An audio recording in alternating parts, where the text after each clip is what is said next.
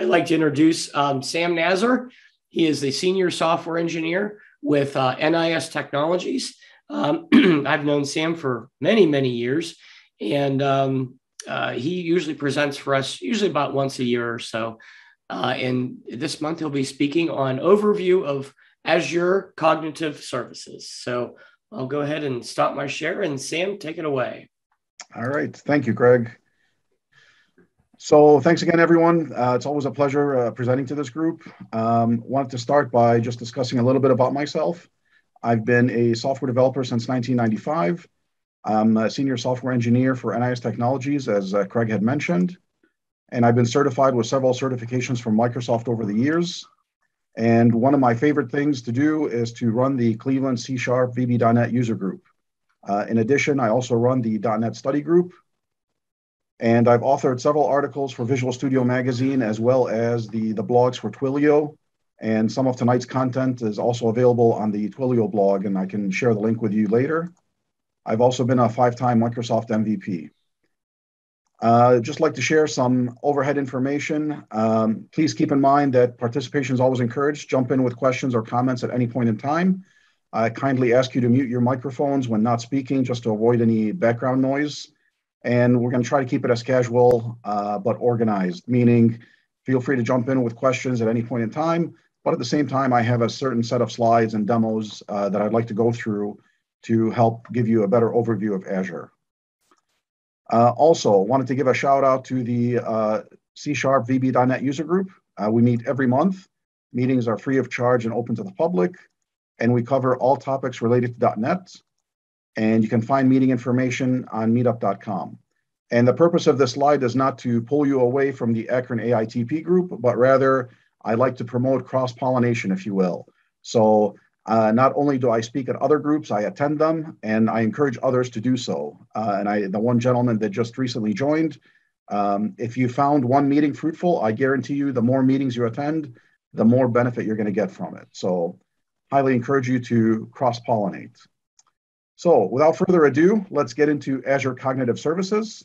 And what cognitive services are about is that they provide services that provide human interpretation, meaning uh, I can take natural spoken English as I'm speaking to you now, and then I can get the, the user's intention out of it. Or I can submit a picture and it can tell me what is in that picture, whether it's a, a human being who's smiling, whether it's an object that I have determined to, to look at, or whether it's a phrase that I want to dissect and see is there anything inappropriate within that phrase before I post it on my website, like a comment, for example, or a message. So basically, like I said, it provides human interpretation.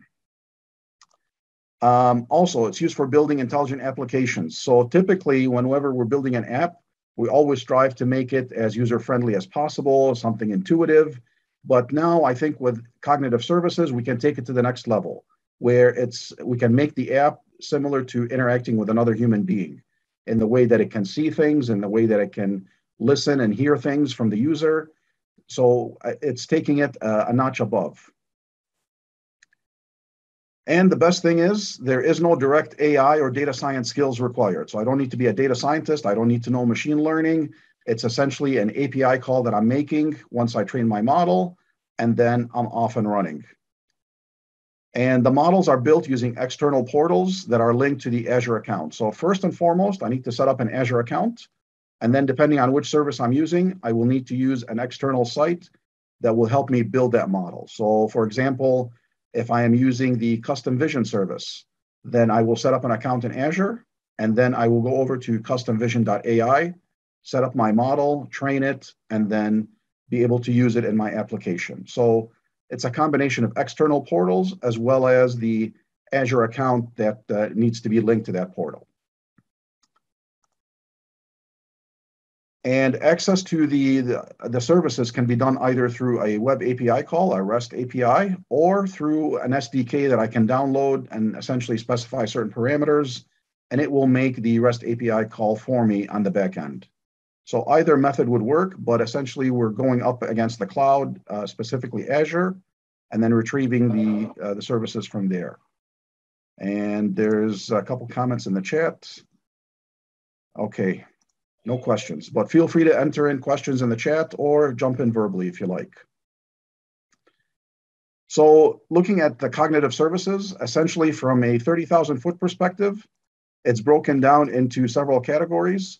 Vision, decision making, where it can look at certain content and decipher whether it's appropriate or not appropriate, whether it contains uh, personal identifiable information.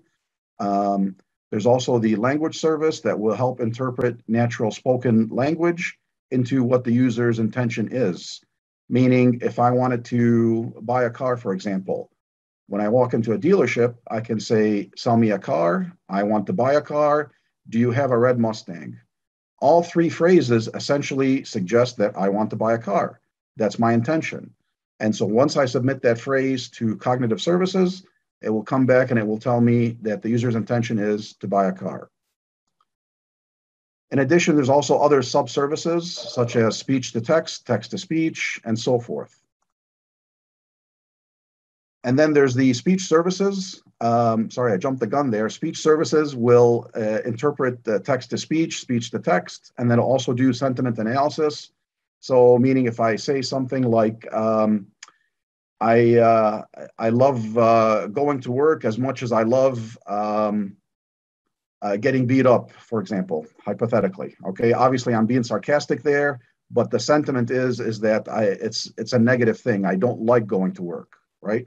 Uh, and by the way, side note, I love my job, so it's just an example. So these are the major categories that we're going to be looking at. There's also a, a fifth category called search, but I highly doubt we're going to have enough time to get to it tonight. Uh, but essentially, from a, a 30,000 foot perspective, you got five different categories and then within each category, there are multiple subcategories. So let's take the first one with vision service and dive a little bit into it. So within vision service, there's something called custom vision. Uh, what this allows us to do is to be able to do object detection, meaning I can submit a picture to the service and I can say, tell me what objects are in it that I trained it on. So in the demo that I'll show you later, basically I trained it on a oil filter to detect a, an oil filter within the picture. So if I walk into an auto parts store and I don't know that this is this thing that I have is called an oil filter, I can show them a picture and they'll say, "Oh yeah, it's an oil filter." Likewise, now I can do the same thing with my application. I can just submit a picture of it and it will tell me that that's an oil filter. Within Vision Services is also another subservice called Computer Vision. And what this allows me to do is to be able to analyze the content in the images or be able to do OCR or optical character recognition. So in the demo, you'll see that I will submit a business card and then it will come back with all the uh, text portions of that card and it will OCR it for me and convert that image into text and it will show me where those portions lie, meaning where my name is, where my phone number is, address, etc. Another part of Vision Service is face identification, where basically I can submit a picture of a human and it will tell me that this person is a male, a female, um, and it will tell me whether they're happy, they're sad, uh, so on and so forth. The video indexer, basically this analyzes video on the fly and it will index the content so that later on I can go back and search for it. And then last but not least is the form recognizer, which is currently in preview, and this will extract document text out of the entire document. Lastly, there's the ink recognizer, which is also in preview, and this does uh, recognition of handwriting samples. So I can submit a handwritten note, and then it will recognize the, the handwriting as well as the text within it, and then respond back with the actual text. So the face recognition part, is able to tell the difference between identical twins? Will it be able to tell the difference between identical twins? Yeah. Uh, not necessarily. Basically, it's going to be this is an, an example. Um, once I submit the picture into the service, I'm going to get a JSON result set back. And that's the, the standard for all services within Azure. I make a call, I get everything back in a JSON result set. So for face detection, as you see here in the example, basically it's identifying what's in the picture, but it really can't decipher if it's two separate twins, um, one versus the other. But rather it'll tell me that it's a female, approximate age, uh, and then where the face of that person is located. And as you see here, it gives me a rectangular object with the coordinates of where the face of that person is located within the entire image. Okay. Okay. How's that for a long answer for no? Um, so as I mentioned, we get uh, with face detection, we just basically get the where the image lies or whether the face lies within the image. If we look at object detection, um, I apologize, the JSON is a little bit small here, but basically an image can have multiple objects within it. So for example, if you look at the picture right now, you see that there is a picture frame behind me, there's some bookshelves, there's a, uh, a filing cabinet, there's also a person speaking, wearing glasses. So there's multiple objects happening inside this image. And so that's what object detection does. If you train it on what objects to look for, it will essentially dissect the entire image and it will come back with uh, the, the rectangle where that image is located or where that object is located in the image. And then it will also give you a confidence score of how confident it is in identifying that image. So if we look over at the JSON on the right side, you'll see that with every rectangle, there's a confidence score uh, for the kitchen appliance, 0.501. And then for the next item, it's identified as a computer keyboard, 0.51. So this model has been trained for those individual objects. So now when I submit that picture, it can identify all those items within it and where they're located, and as well as the confidence score. Uh, there's a question in chat. Does the handwriting recognition cover multiple languages? Yes, and uh, we'll cover that in, in just a little bit. And moving on. So demo of custom vision. So let's take a look at an example that I had built and let me move this over here. Okay, so what I have is basically an in my business card. And let me open that up.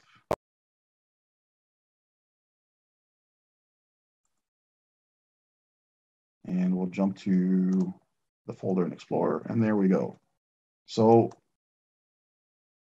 let's close this.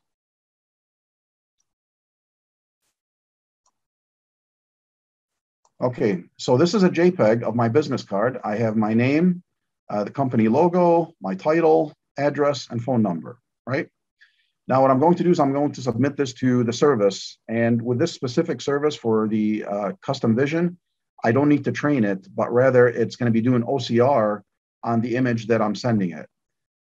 So to do that, and for the sake of time, I won't be able to cover all the details in setting this up, but essentially in a nutshell, you need to go to Azure and you set up an account, and then it will give you a set of keys that you can use, and you incorporate those keys within the code. And as you see here, I've basically hidden those codes or the subscription keys in my app settings, as well as the URL endpoint. So once I set up the, the resource uh, within Azure, it provides you some certain properties, which include the subscription key, as well as your endpoint that you're going to be hitting your, uh, with your API call. And so I built an application here where it's basically a console app, and I'm submitting the image that I have hard coded here from my, uh, my hard drive. And so what I'll do is I'll put a breakpoint at the very beginning and we'll walk through the entire uh, application. So we'll click run. And we'll wait patiently as it compiles and builds.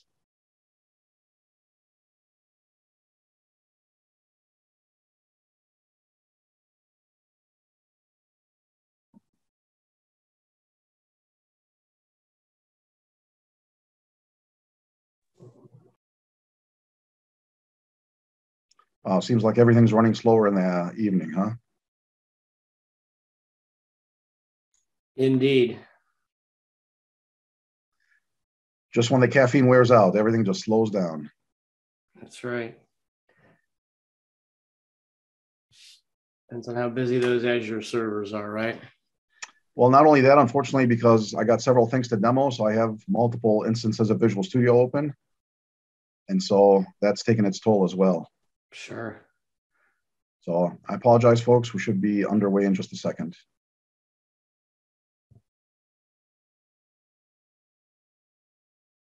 Yeah, I mean, you know, Sam, maybe just a, a side comment. Um, I mean, I would think that, I mean, uh, OCR has been around for a long time. I mean, in, in various, or I mean, f- from other companies too. I mean, not only Microsoft.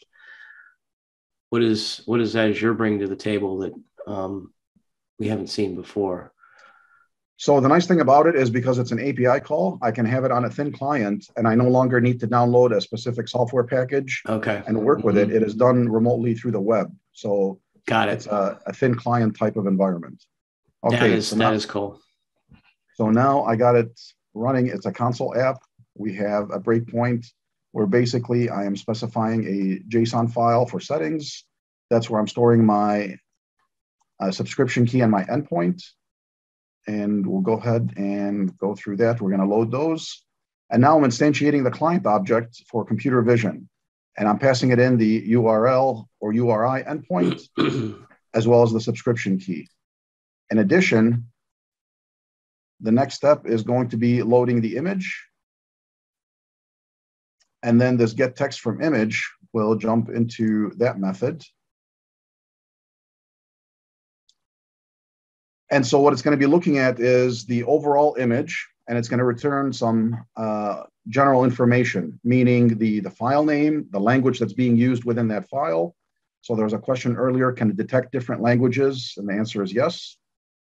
Uh, the angle of the text, meaning if the card was at 45 degrees or 90 degrees, it will tell me the angle of the text within that image. And then in addition, all the individual regions uh, that contain text within that image. So because there's multiple regions of text, I have it here inside of a for each loop where it's going to go through all the regions and it's going to spell out all the, the bounding boxes, meaning every region is going to have a box around it. And then it's also going to display the text within that region. So if I go ahead and run to completion,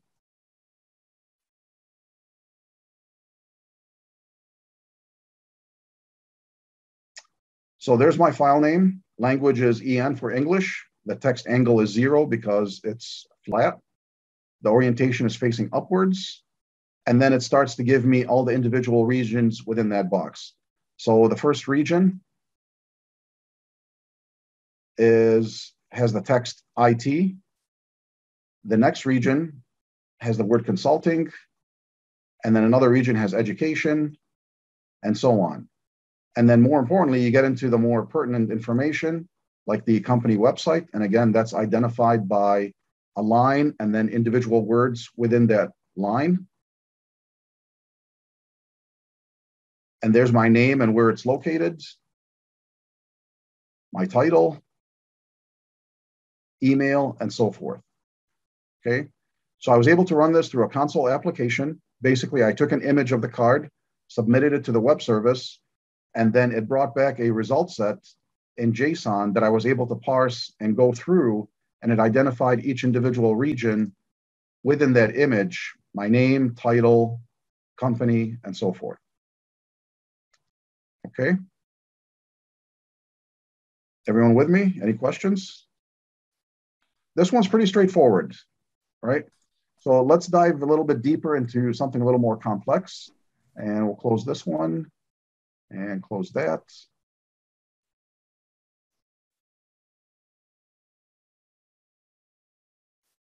So within computer vision, essentially we have the OCR result that's returned in uh, with a language code.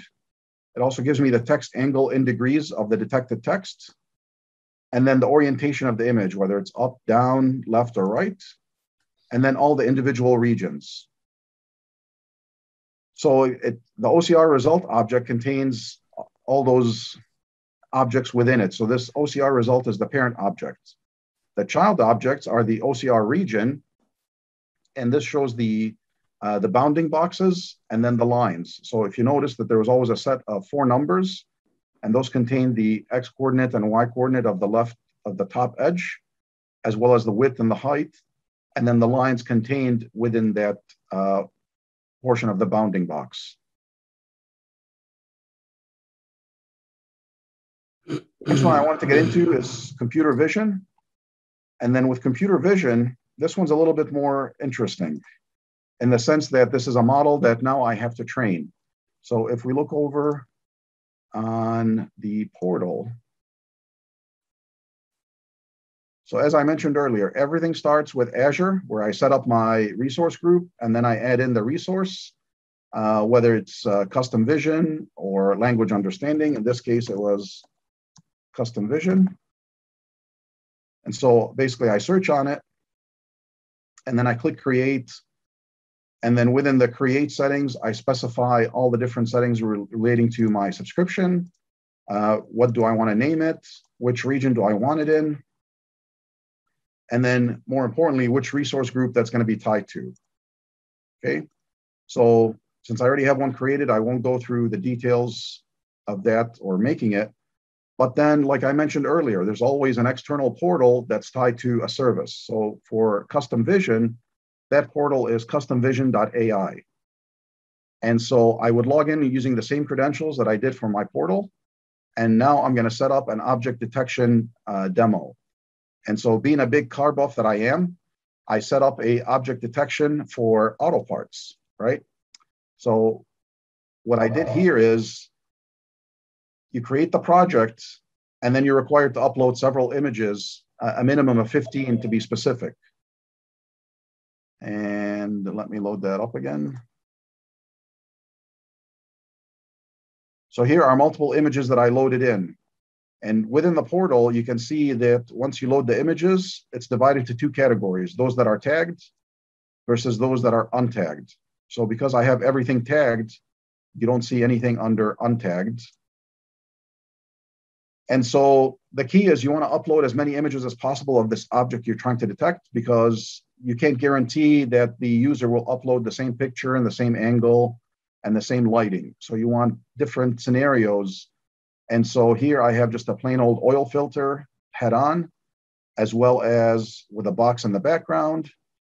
Um, in some cases, it's already mounted on the vehicle. So different angles, different lighting, and so forth. And so what you do is you essentially you train it. So let's take a look at it. This one, for example.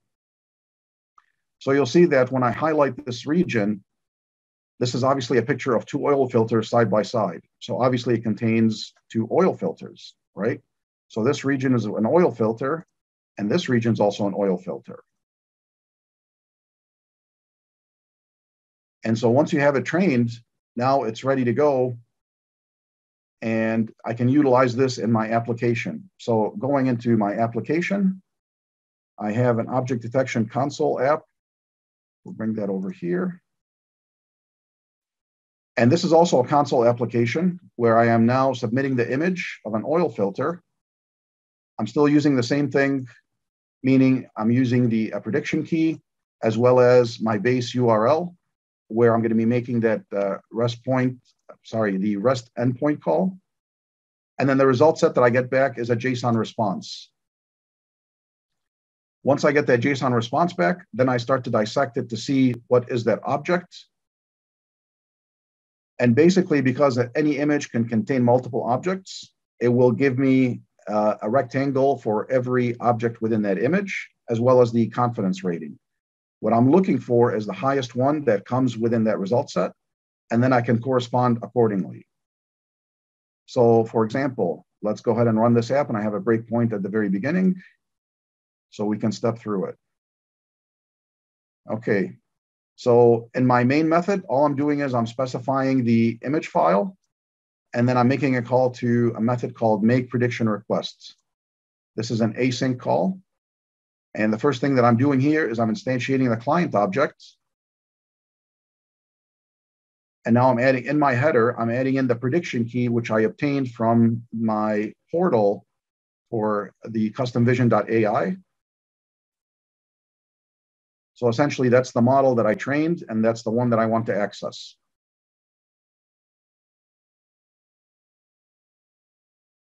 There's my endpoint. And now I am converting that image into a byte array. Once I convert it into a byte array, now I can actually put it within the content type of the header.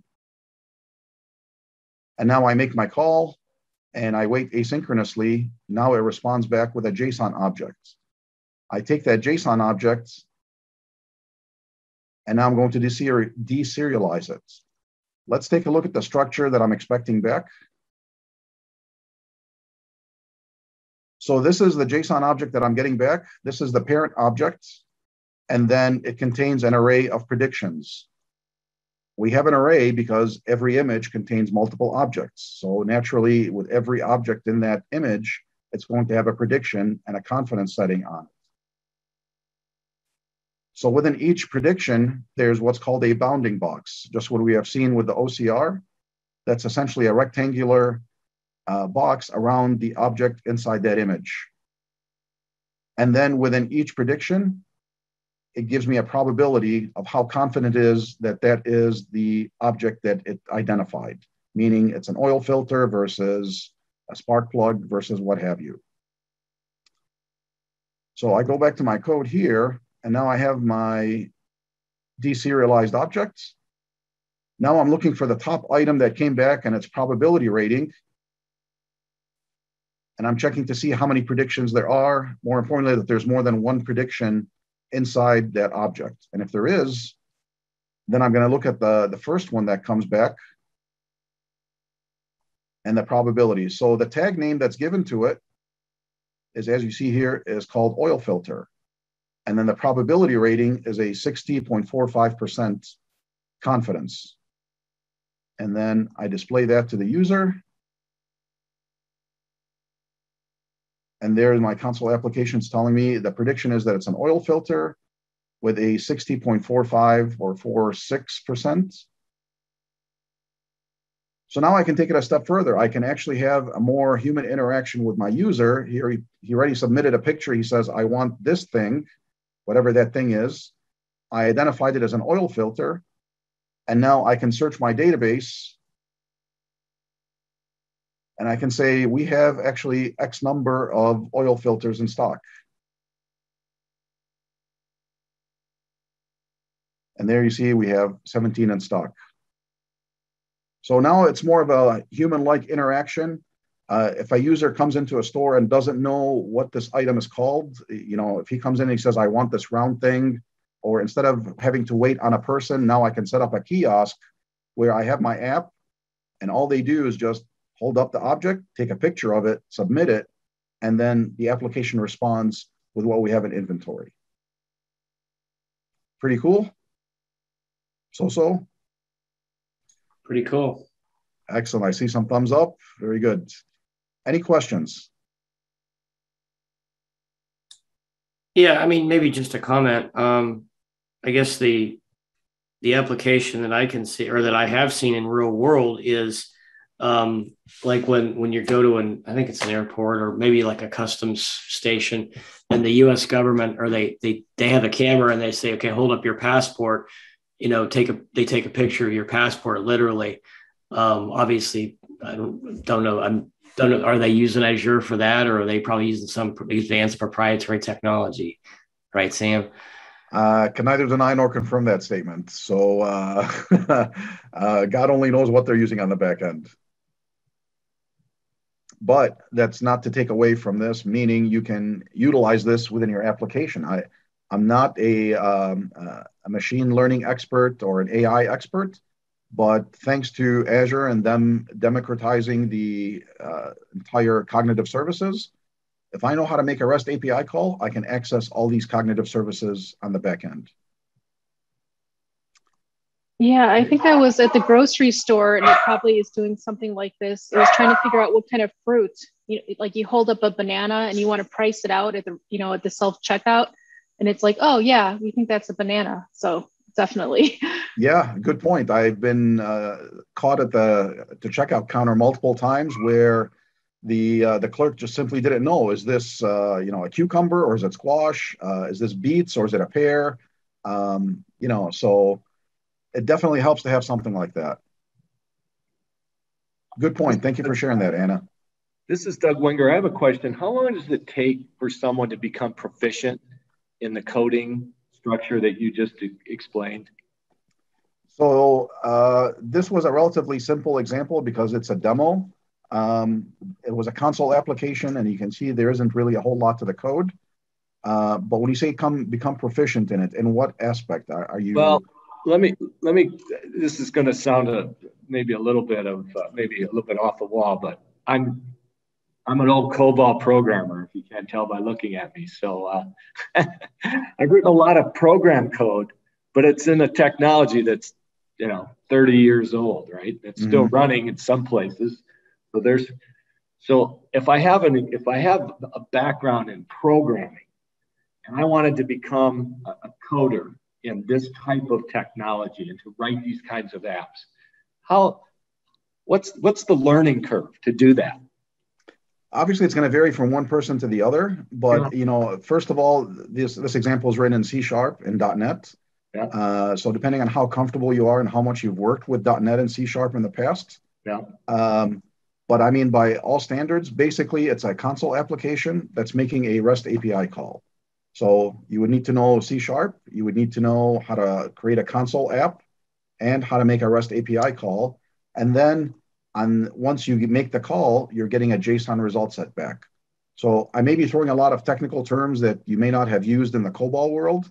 Um, but you know, like I said, it, it's just it depends on how well you can, uh, you know, take on uh, how well you can swim in a new tank, if you will. Yeah, uh, yeah, yeah. You know, uh, Doug, I'll also point out, and I'm not a Visual Studio um, jock like Sam is, but I will point out that in, in many cases, Visual Studio will, will generate a lot of the code for you, depending yeah. on what you're doing. Yeah. Yeah. This is fascinating stuff. I love it. Thank you. Not that I created it, but I'm, I'm only a user. Yeah. But it is uh, it is very interesting. Um, any other questions regarding uh, computer vision? Okay, we're running a little bit tight on time. Uh, so let's get on to the next one. And so the next uh, service that we have in our uh, bag of tricks is decision decision services. And with this, again, there's multiple services underneath it. So there's the anomaly detector, will, which will identify a problem in a time series of data. Uh, there's the content moderator, which will detect potentially offensive or unwanted content in a message or a, um, a, uh, a, submission. And you can use either the SDK for that or you could use the web UI. And then last but not least, there's the personalizer, which I presented on, I think, about a year ago, which will identify items that will be pertinent to your own personal experience. Um, and like the demo that we did last year, you know, if you're shopping for lumber, for example, it may suggest, well, how about some nails to go along with it? Um, so it's helping to personalize your own experience there. Now, let's focus on content moderator since this is relatively new. And what this does is basically it's going to take some text and it will help break it down and identify the key points within it. And so with this, this is accessible through a, a web portal. Um, so there really isn't a model to be trained here, but rather it's a portal where I can try to submit various things, either an image, text, or video. So I'm going to go ahead and submit a text. And something went wrong. Let's reload. Okay, I think I was uh, away from it for too long.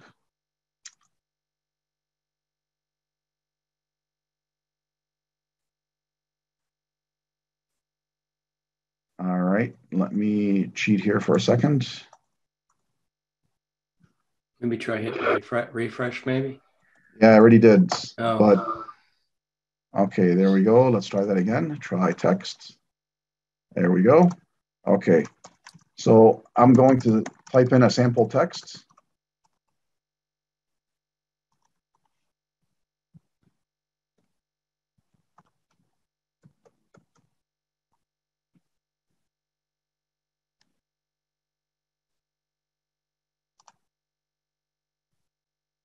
So I'm submitting the content and it, basically it processed the content. It's telling me it's uh, successfully submitted. Click here to review. I'm going to click that. And now it's identifying all the individual pieces within the, the sentence that I submitted. So first it's telling me that the language is English. By the way, can everyone see that okay, or do I need to enlarge it a little bit? Okay. There we go. That's, that's better. Okay. So first, the text language that's being used is English. Does it have PII or personally uh, personal identifiable information? And in this case, because I specified a sample social security number, it came back as true. Do I have any profanity? Of course not. So it's set to false. And then here's the text where it detected a SSN or social security number, and it's identifying that area of the text. And here it's visually showing it to me. So the whole point of this web portal, let's say I want to moderate content on a website uh, where customers are putting in their comments.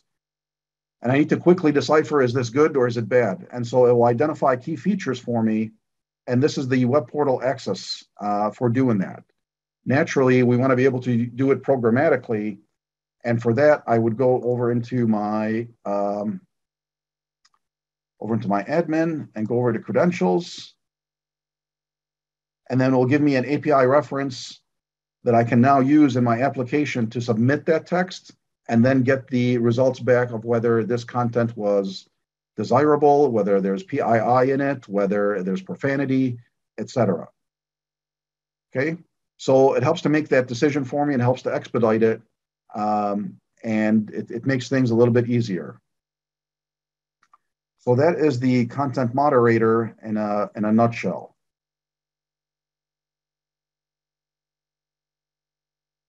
Any questions on that? No questions. Either it's straightforward or putting you to sleep, one of the two. I'm not sure which yet. But feel free to jump in with questions or comments at any point.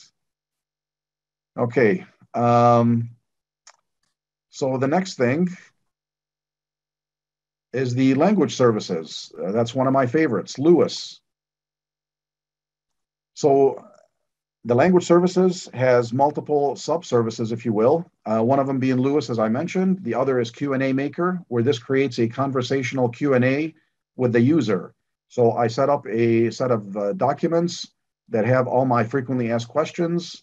Uh, what time do you open tomorrow? How late are you open till? Are you open on 4th of July? Uh, do you accept credit cards? All these different FAQs or frequently asked questions, I can create a document of it and then submit it to the Q&A maker. And now my users can interact with that and have a more personal interaction. Meaning I can type in, how late are you open till on Friday? And it will come back with the answer um, for me. In addition, there's text analytics, which will detect sentiments and key phrases uh, as well as named entities within that, uh, within that phrase. And then lastly, there's the translator, which will detect and translate more than 90 different languages uh, from one language to the other. So taking a closer look at LUIS, LUIS is the short for Language Understanding Intelligence Service, and it's built on interactive machine learning from Microsoft Research and it uses the language model and training examples to parse natural spoken English. And so, you know, like I mentioned earlier, I go into a dealership and I say, I want to buy a car. Another gentleman may walk in and say, sell me a vehicle.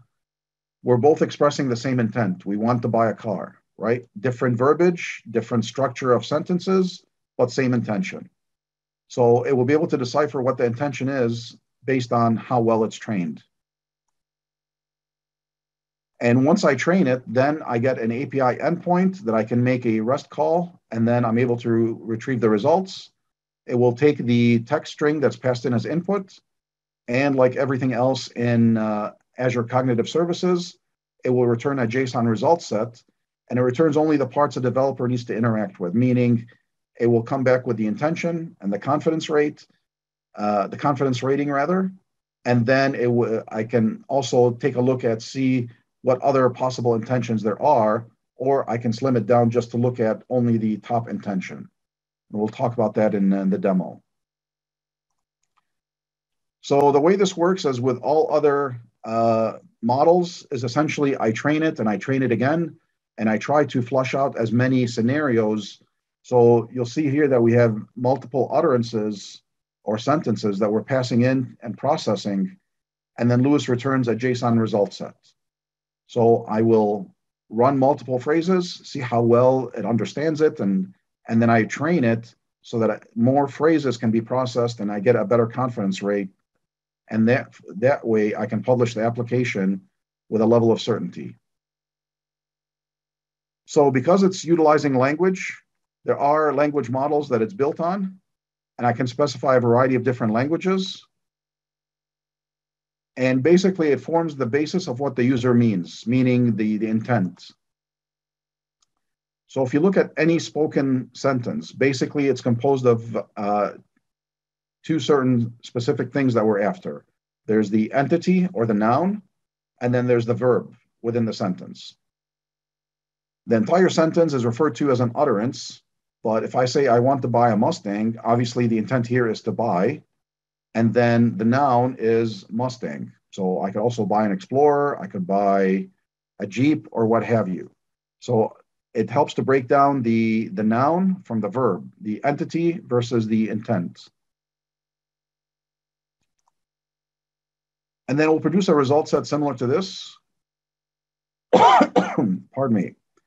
Will give me the, the query that was submitted to the user, the top scoring intent, and then the confidence score of that top intent, as well as all the other intents and entities within that sentence. So the best way to explain things is to demonstrate it. And so we'll jump into a demo.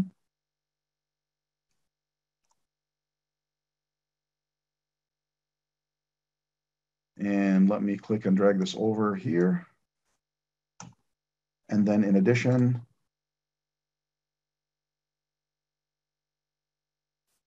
so within my portal,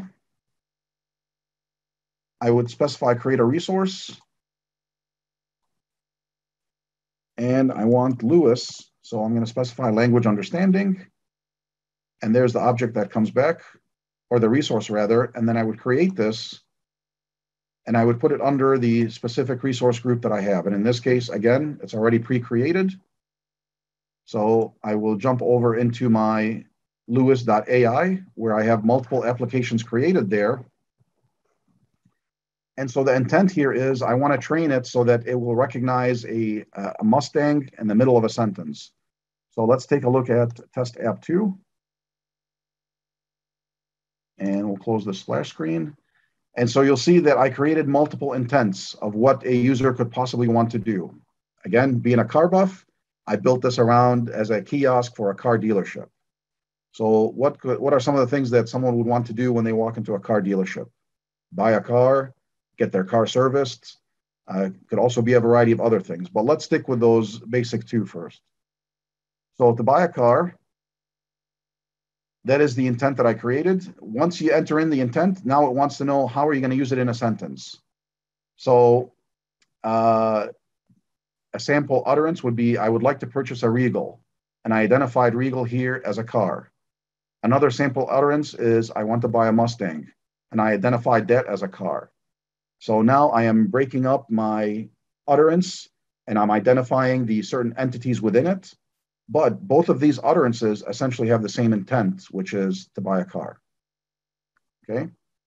Once I have this set, now I can actually test my model. And I can enter in a sample key phrase. Will you sell me a Mustang? So it comes back and it says this user wants to buy a car, and it's 77.6% confident that that's what the user wants to do. Okay, so this is in my portal in um, in the LUIS AI portal because I already set up my uh, Azure for a resource. I'm using this with the keys that were obtained from the Azure portal, and now I can actually publish this application and use it uh, within my app. So let me go ahead and close this.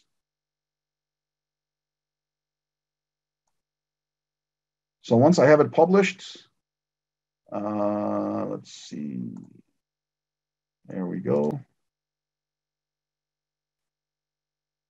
So once I have it published, basically it's going to give me a set of uh, a key as well as an API endpoint to use. And no, not, not that.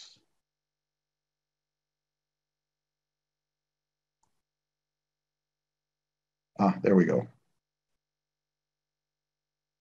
So now it's publishing my application.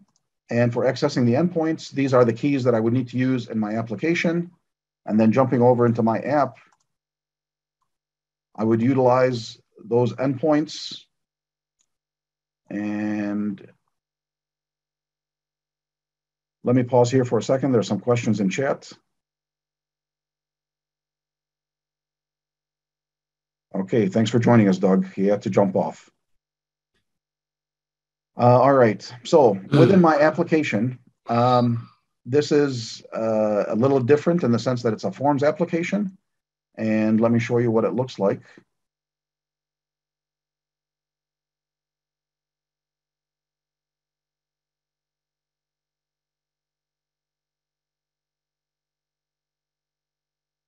My goodness, there we go. Okay, so again, around a, a, car dealership, it's a kiosk application, and it's asking, what can I do for you? And the user will type something in here, click the search button, and then the results will appear in the uh, lower uh, box. So the action starts once the user clicks the search button. We're going to do uh, a parse on the text that was submitted. So we have a breakpoint there. We'll go ahead and run the application.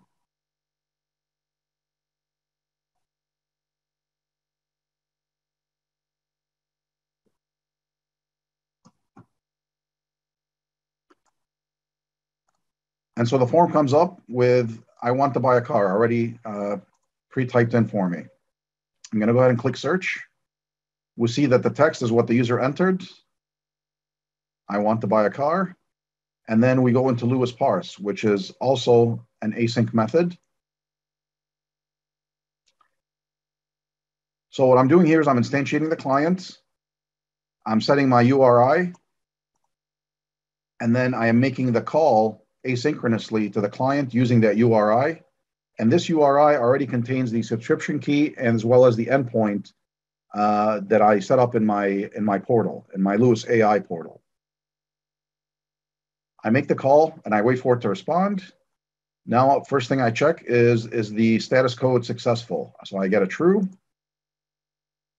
Now I'm going to convert that JSON result set and deserialize it into the response object. What does that response object look like?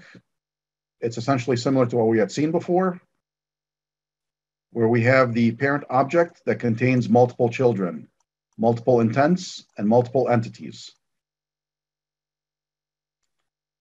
And so within each intent, it's going to have the name of the intent and a score, meaning buy car, service a car, and then how confident it is in setting that, uh, that intent. And then entities are basically the, the, the nouns. So if I specified I want to buy a red Mustang, it would give me a, uh, the adjective uh, for the, the red, as well as the Mustang as the entity, and then where it starts and stops within that sentence. And so what I'm interested in is looking at the highest scoring intent. So going back into my code, I am looking for the first intent that comes back in the array, as well as the first entity that comes back in the array. And so we see that the top intent is buy car, and the top entity Oh, I'm surprised. Came back as empty. Okay. Oh, that's because car is just a generic term. It is not a, a specific um, entity. And so now I, I, I, have identified what it is that the user wants. How do I react to it in my application? Now I have a switch statement, which I go through and programmatically I'm checking to see, does the user want to buy a car? Does he want to service a car? What does he exact, what exactly does he want to do? Or she want to do. So if I find out that they want to buy a car, I respond appropriately. We have X number of cars in stock, and I display that in my output text. And that is the end of that run. So I tell them we have three cars in stock. Okay. So, of course, these are brief demos, but the whole point is to get the point across that I am no longer just specifying specific text in specific places, but I can have a natural spoken sentence to an application and it will respond back with a human interaction. Any questions on LUIS? No, no, don't think so. No questions. Okay. All right. To wrap it up, uh, is it okay if we go a few minutes over, Craig? Yeah, absolutely. Okay. So going back into our PowerPoint,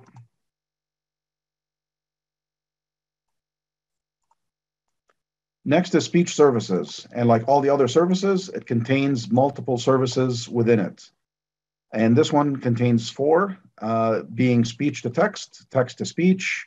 Uh, we can also do speech translation, or I can do speaker recognition where we can identify and verify the person speaking in an audio stream. So let's focus solely on speech to text because this can piggyback on top of LUIS in the sense of instead of me typing in a phrase, now I can speak the phrase and it will translate it to text. So this is also one of the, the simpler demos. And if we go over into Visual Studio,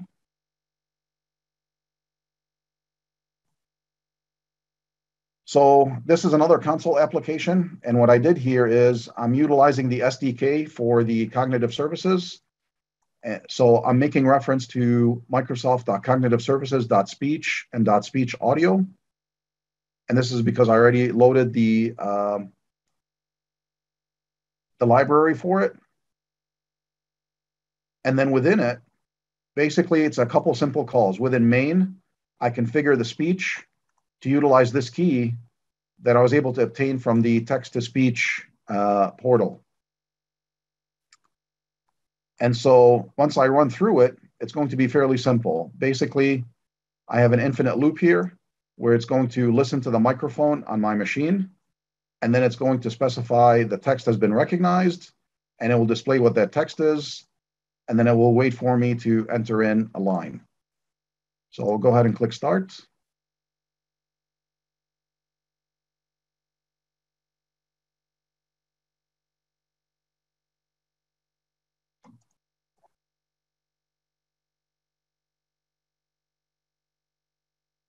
So while we're waiting for that to run, Brad has a question. What industries do you see as earliest effective adopters?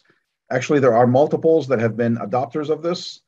Um, unfortunately, the, the name kind of escapes my mind, but I believe KPMG. Uh, there's also several other vendors where basically they're creating kiosks to leverage cognitive services and have a more human interaction with their user. Uh, I'd be happy to get you a list of some of those industries afterwards. But essentially, it can be used in almost every industry, really. Um, you no longer have to worry about the user typing things in. They can simply speak to their application or hold up a picture. And let me get into my app here. Obviously, one one application. I mean, I I think we see is is IVR, right? Interactive voice response, like on phone systems, or and maybe that's a specialized example. Um, of that, maybe. It is, but now we can carry that forward into any application and you have full control over the customization, right? So I, I can have it, so now it recognizes an oil filter within a picture. It can uh, respond with how many items of, of that uh, oil filter that I held up in the image, how many items you have in stock, uh, so on and so forth. More importantly, you look at like specialty parts, for example, or produce, as we mentioned earlier. You know, if you don't know the difference between a beet and an apple, all you got to do is hold it up and it will identify it for you. Right? Yeah, I think in, in medical like medical transcription, there used to be real people and that's disappeared, but there's still more a lot more capabilities than just actually, you know, getting the speech to text, you know, to actually do quality controls and, you know, and so forth. Yeah, you're absolutely right. And to expand on that, like one physician that I worked with in the past, he was telling me that they actually they as they're transcribing there's someone on the other end uh, overseas listening in and doing the hand entry uh, with the medical terms and, and the proper abbreviations. So now i can do away with that. LUIS can step in and i instead of uh, saying that there's a uh, a broken left arm i can say there's uh, what's the proper term for a broken left arm in, in the medical world or like a like a fractured whatever a fractured whatever um, right yeah, yeah. so it, it, yeah. it, it, will transcribe that into the proper terminology and now i no longer need that offshore person typing that in um, so multiple uses. Uh, I, I don't see it fitting into any specific industry per se, but I see it fitting in into all the industries. Um, variety of different applications. Even in uh, some requirements gathering, I, I, was on a project. We had like a million requirements. If we had some, you know, capabilities to do some of the scribing, would have been great. yeah. So let me start my mic demo.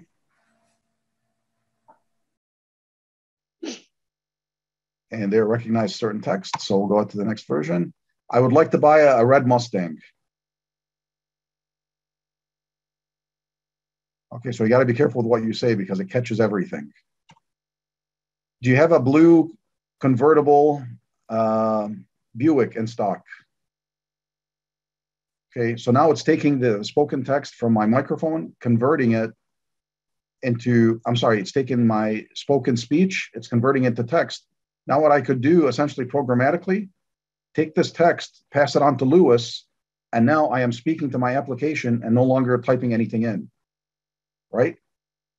Likewise, instead of displaying text on the screen saying we have 17 units in stock, I can use the capability here, text to speech, and now I can respond back to my user in speech. So now we no longer have hand entry, we no longer have a screen that we're dealing with.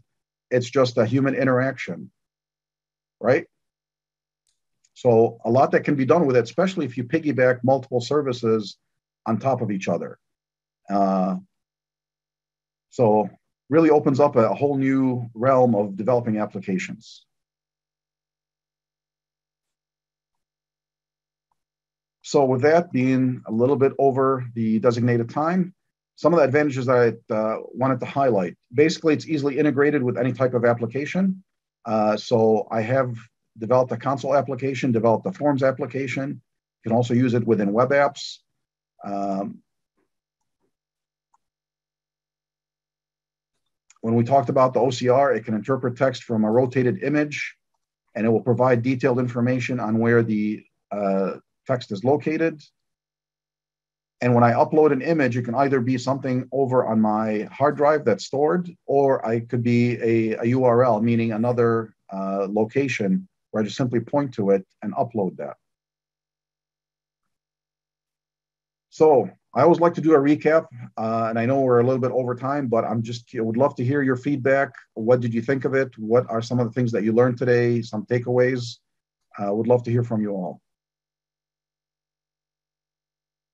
Well, I mean, it's definitely exciting, and you know, some of the just to you know do some of the work without having to you know get into a lot of coding. You know, that's great, but just really opens up a lot of innovation. So it was really an exciting presentation for me. Thank you. Appreciate that.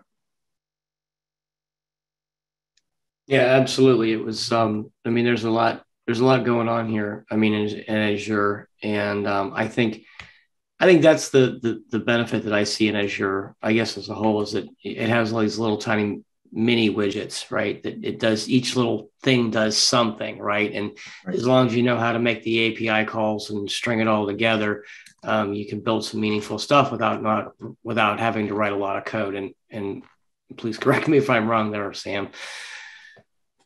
No, you're absolutely right, and that's the whole beauty of it. Uh, you can do a whole lot with very little, uh, and it is literally a sea of information out there on Azure. And uh, you know, cognitive services is such a a small portion within that entire ocean of services provided by Azure. Uh, but nonetheless, it's pretty powerful and very easy to access. If you'd like to learn more, uh, NIS Technologies offers courses, some of which I teach regarding uh, AI and machine learning and cognitive services specifically. I invite you to check out the website, uh, nistechnologies.com, and click on the education tab. in closing, just because the presentation's over doesn't mean that the conversation stops here. I would love to hear questions from you. If you need any help developing any of these applications, uh, we can keep the conversation moving. Feel free to email me, snasr at NIS Technologies. Uh, you can also find me on Twitter at Sam Nasr.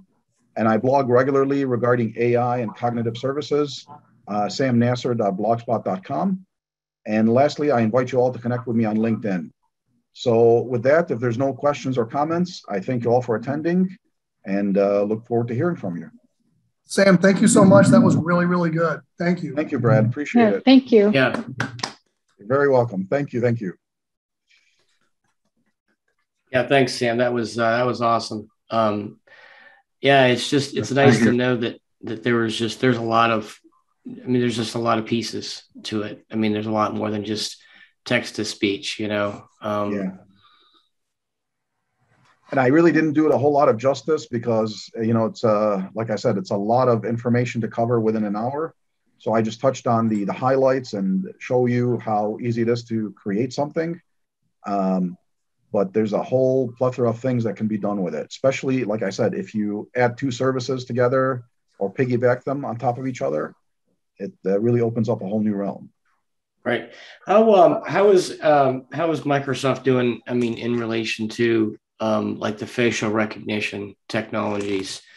Um, I know Google's kind of gone gone a long way with that. Um, and some of the other companies have gone as well. How are they? Where do they stand in that field?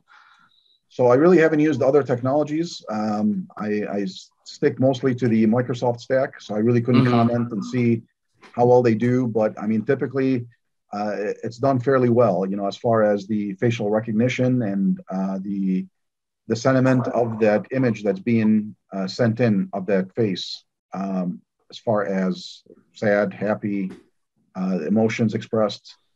Um, so haven't really had many problems with it, but again, can't really comment on the other vendors. I, I understand. All right. Any other uh, questions from anybody? Lots of good questions and comments tonight.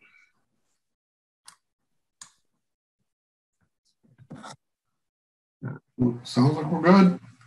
All right. Well, um, Sam, thank you again for your presentation. It was awesome. Uh, and thanks everybody for attending uh, tonight and uh, for joining us on an odd an odd night uh, for Tech Week. But uh, it was that, that was how we did it for scheduling. Um, next month, um, it's I guess it's at this point it's kind of a mystery topic. Um, we're going to shoot for the uh, mission to Mars, but we're not 100% sure on that. So uh, stay tuned. Uh, check out our website uh, we will definitely let you uh, everyone know what it, we're, we're, we will have an event. We just don't know exactly what the topic's going to be. Yep. Thanks, Craig. We'll be on top of that. All right, very good. Well, thank you all, and Yep. uh, hope you all have a good night. All right. Good night, Night, everyone. everybody.